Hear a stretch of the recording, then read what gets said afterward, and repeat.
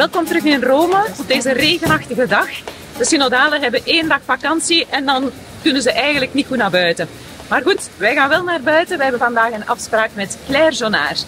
En uh, Claire uh, heeft lange tijd voor de Franstalige jongerenpastoraal in ons land gewerkt. Maar uh, tegenwoordig is zij verantwoordelijk voor de jongerenpastoraal, onder andere um, in Zwitserland. Ze woont in Zwitserland. En ze is um, door, de, door het secretariaat, het, bisschoppen, het secretariaat van de Bisschoppensynode, uh, gevraagd om hier te komen helpen. Haar uh, functie is expert animator. En we gaan een keer vragen wat dat eigenlijk juist betekent. Paulo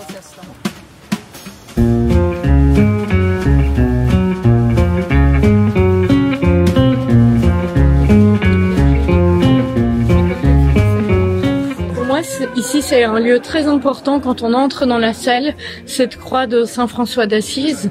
Et chaque fois, je me rappelle le Seigneur qui dit à Saint François, va reconstruire mon église. Mhm. Et vraiment, je trouve symboliquement, c'est très très fort d'avoir cette croix dans cette entrée. Puis ces bras du Christ qui nous accueillent. Mhm. Nous entrons tous là le matin, il n'y a pas d'autre entrée. Et on est accueillis comme ça par le Christ. C'est lui devant et parmi nous.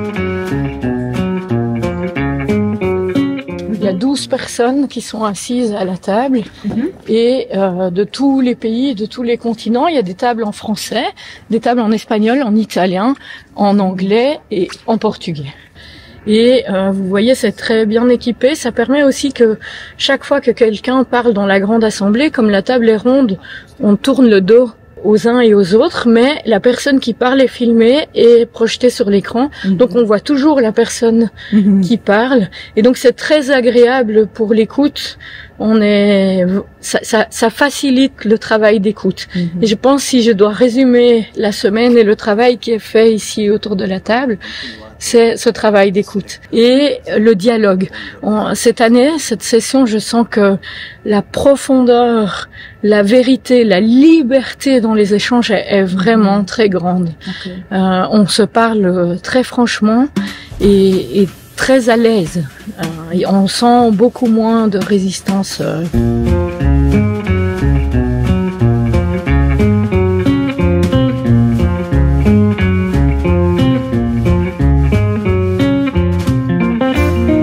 Aussi, je pense souvent en m'asseyant à la table ou à la table de l'hôtel où on partage l'Eucharistie.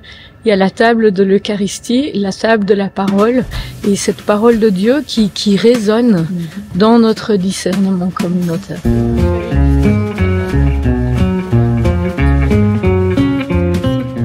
Peut-être il faut expliquer qu'autour de la table, il y a trois fonctions différentes. Mhm. Moi, le facilitateur, c'est un peu, on pourrait dire, celui qui aide à faire avancer, un peu à accoucher du processus, mais je n'ai pas la responsabilité du résumé. Non. Il y a un rapporteur qui est élu ah par les membres de la table et c'est lui qui doit produire le résumé et il est aidé d'un secrétaire qui lui est désigné par le secrétariat du mhm. synode.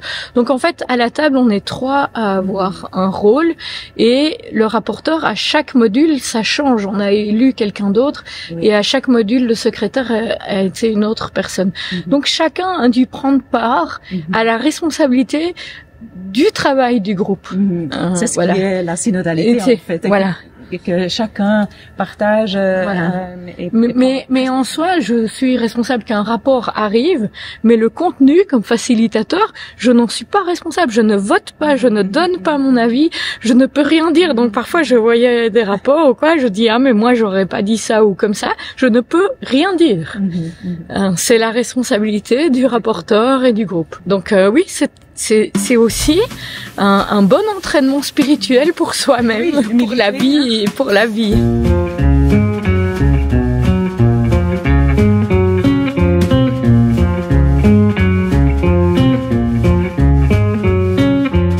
Moi, je suis très reconnaissante de voir comment la grâce de Dieu est à l'œuvre, comment on avance pas à pas au rythme de Dieu, peut-être pas le nôtre, de Dieu et combien le nombre de pas qui sont faits.